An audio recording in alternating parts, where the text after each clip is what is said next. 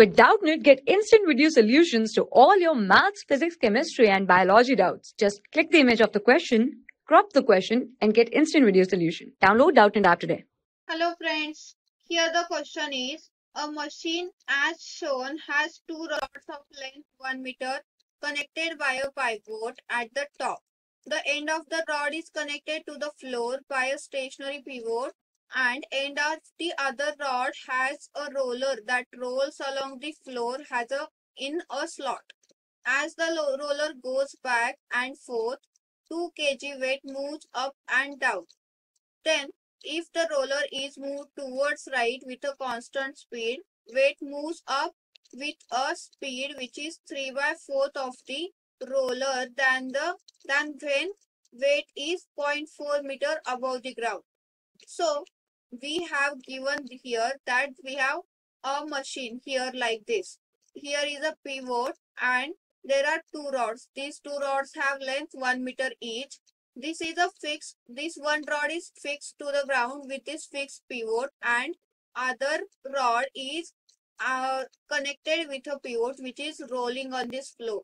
So when this uh, roller is moved for, uh, back and forth this weight 2 kilogram is moving up and down.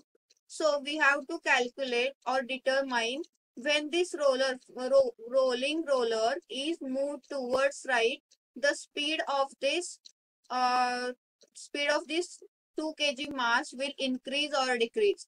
So we have drawn here a diagram like this. We have assumed that this distance x is given so the center point if we find this distance is x by 2.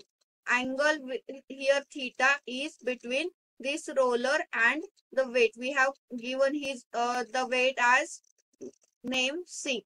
So we know here this distance suppose let it, it is y. So dy divided by dt will be equal to vc. Means this displacement y is of this mass 2 kilogram and when this is changed with respect to time, we will get the speed or velocity of this mass.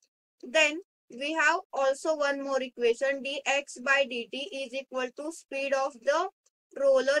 Uh, we will say here it is a. So this roller a has velocity va which is dx by dt. Now if we see the diagram, we can calculate the values of sine theta and cos theta. So sine theta is opposite side divided by hypotenuse. Opposite side is y, hypotenuse is 1. So sine theta is equal to 1. And cos theta is adjacent side. Adjacent side is here x by 2. x by 2 divided by 1 which is equal to x by 2. Now we can differentiate this sine theta and cos theta terms with respect to time.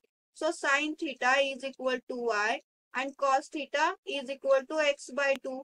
If we differentiate this with respect to time, we will get minus of cos theta into d theta by dt is equal to dy by dt. And here sine theta into d theta by dt it is equal to 1 by 2 into dx by dt.